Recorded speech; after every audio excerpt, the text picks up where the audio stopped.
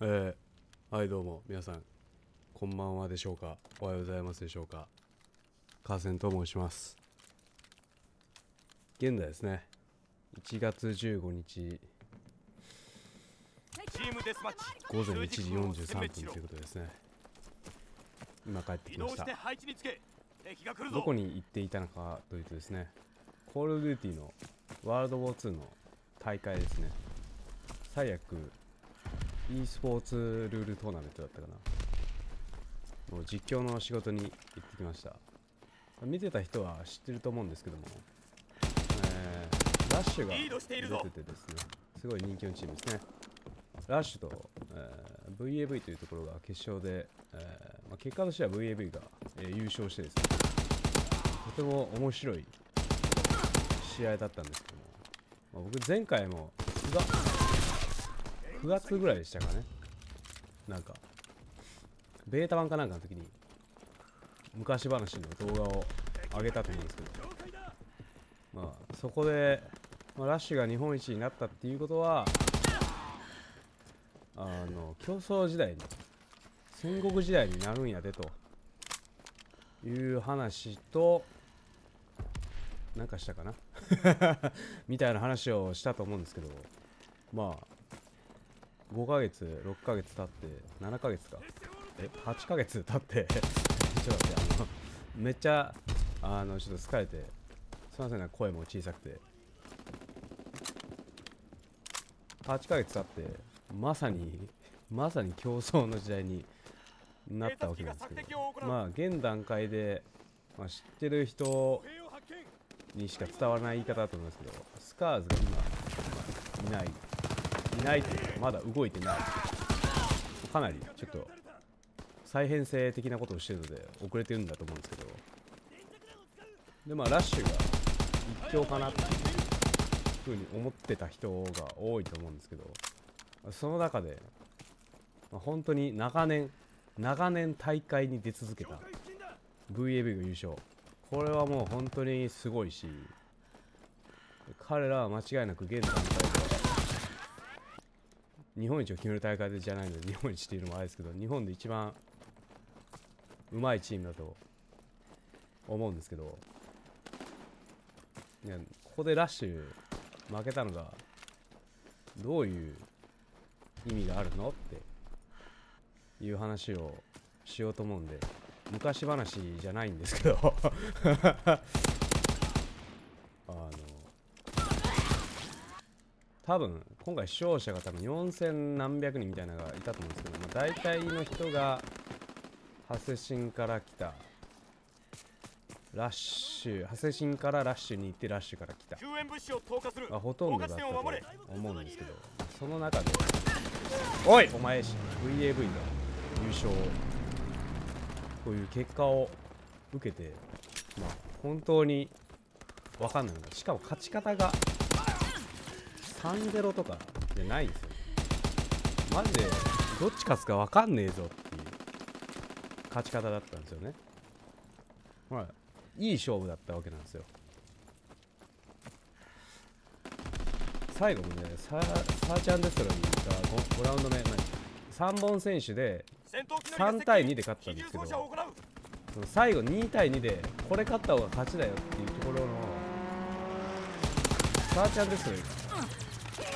USS テキサスっていうことで。いやスナイパーとかね長距離系が幅を利かすマップだったんでこれはまた違うマップだったら分かんないし他のねルールでもマップ変わったら分かんないしっていうぐらいだったんですよ。だからもうもう間違いなくこっち100発強えわみたいな。もうはい VV 最強もう終わりみたいないうことでもないんですよね。すげえいい勝負だったわけ。もうとにかくどっちが勝ってもおかしくない。五分。イーブンだったんですよ。これがどういうことなのかっていうとこれから1年間今までとは大会の見方が変わるんですよ。前まではいけラッシュと。ラッシュとスカーズがあ残りました。スカーズ勝つんだろ。うおラッシュ勝ったわ。うんとかいう見方じゃなくなるんですよこれからはどっち勝つか分かんねえぞって思いながら試合を見れるんですよ。これは何やってる敵の VAV おめでとうだけじゃないんですよ。VAV ありがとうなんですよね視聴者からしたら美味しいな。本当にねこれからめちゃくちゃ面白くなる。もうまさに予言的中でもないですけど競争の時代にもう入ってもう純潔で当たったアイテムとかファンチームも絶対上がってくると思うんでマジで楽しみになったっていうこととラッシュがワールドウォー2に入ってからの動きがすごいすごいんですよ。なんか急に語彙力落ちたんですけど。確か、えーワールドウォー2に入ってプロチームになって、えーウィキッドとウィキッド様という企業がついたんですけど、まあ、ここのね会社はねすごいね。すごい。偉い。偉い。すごい。やばい。なんか語彙力やばいんですけどとにかくすごいということを分かってくれれば。あのプロっていうものがどうあるべきなのかっていうことを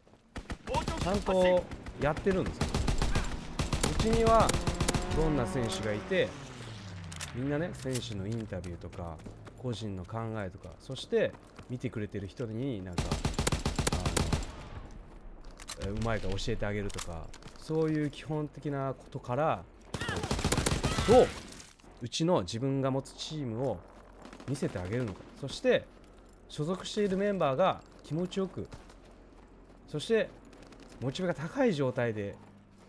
プレーすることに集中できる環境を作っているっていうのが非常にすごいこと。かつすごいことなんですね。多分ね配信とかラッシュのねメンバーの配信とかツイッターとかなんかいろいろあの彼らのことをチェックしてる人だったら分かると思うんですけどまああのどういうこと考えてどんなモチベが高くてどんだけ練習してるか。もうメンバーも気持ちいいし見てる方も面白いっていう非常に素晴らしい形をもう一試合やりますか。はいということでね続きなんですけど、まあ、とにかくまあラッシュのメンバーもね視聴者に対してもすごい素晴らしいことをしてくれているわけなんですけど。あのどんな大会出てて今こんな感じなんだとか誰がすごい頑張ってんだとか、まあ、本当に素晴らしいと思うんですよ。もうあのスカーズだってね別にスカーズの悪口を言うわけではないんですけど何々に出ました何々に優勝しましたとかやってますけど一人一人にスポットライトを当ててとか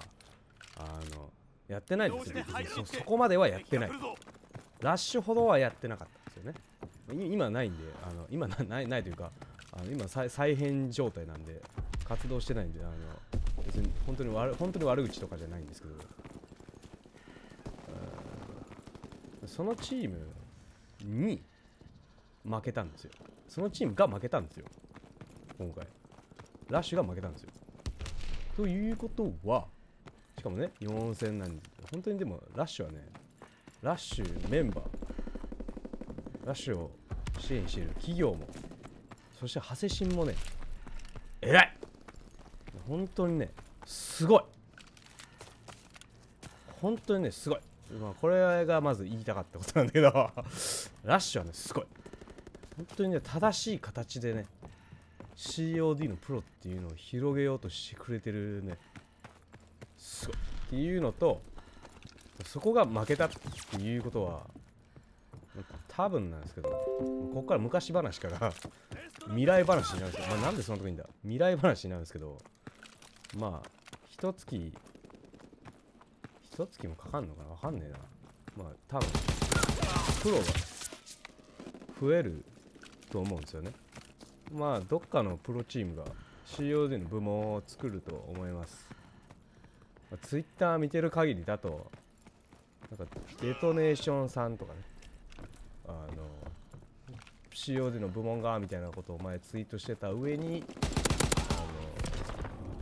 の代表の人も COD の試合見てたみたいなんでまあ VAV はプロになるんじゃないかなすぐに。でまあどうなってくるのかっていうと人が増えていきますよね。レベルが上がって人が増えていく。もう理想理想理想ですよ。理想。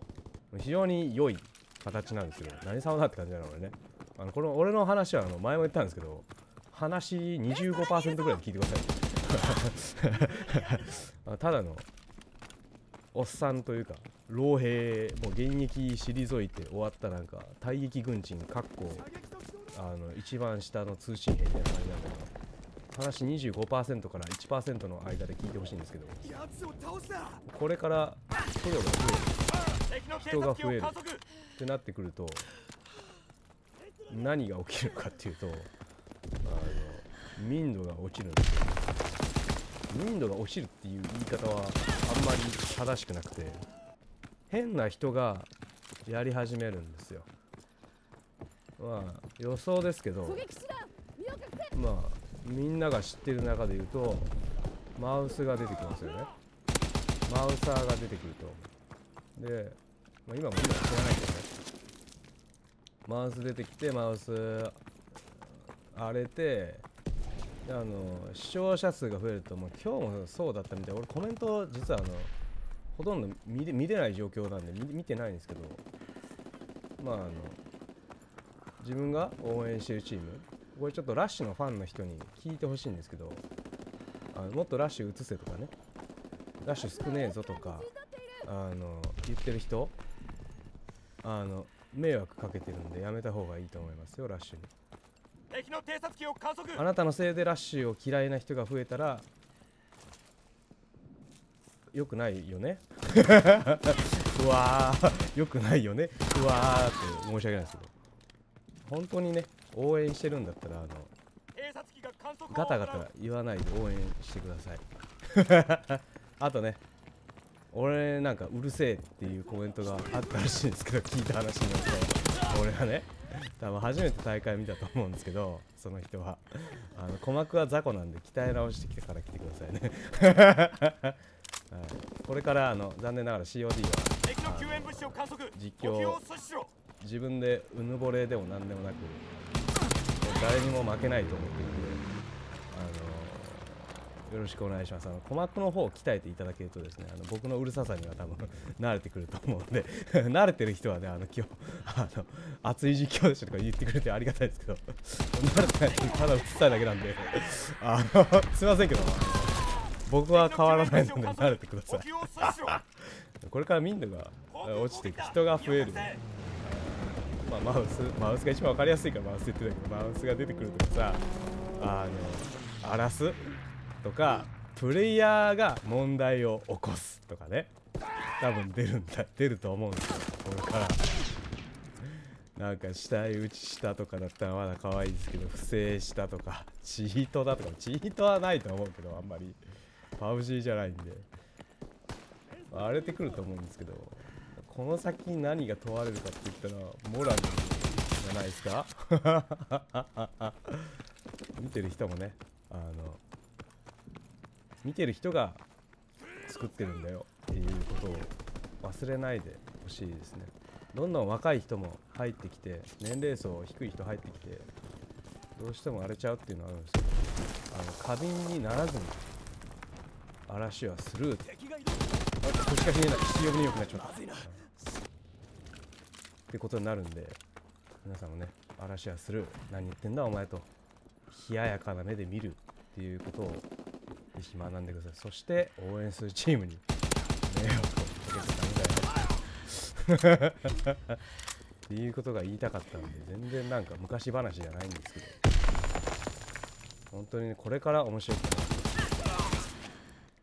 今日もねラッシュ勝っててもおかしくないし VAV が。勝ったのはもうすごいこと。本当に褒めるべきこと称えるべきことすごいこと本当にすごいね彼らは。マジですごいうまい。本当にうまかった。こんなレベルなのここにまだねあのスカートも入ってるし他のチームもねあのまだ出てない人がいるんで。これからは本当に本当に楽しくなってきたね。負けたわ。ということでこれから荒れたりすると思うんですけど、まあ、今回のね視聴者ほとんどラッシュの人だと思うんですけど大部分4000何百人見てるけど外しにとかラッシュの人から来た人すごい多いと思うんだけど自分のチーム自分が応援してるチームを大切に頑張ってほしいと思うならあのチームに迷惑をかけないように正しい形でこんだけやってくれてるんだから正しい形で応援してあげてください、え最後にですね、え太田という人がですね VAV が優勝したら、えー街中を全裸で射精しながら走ると、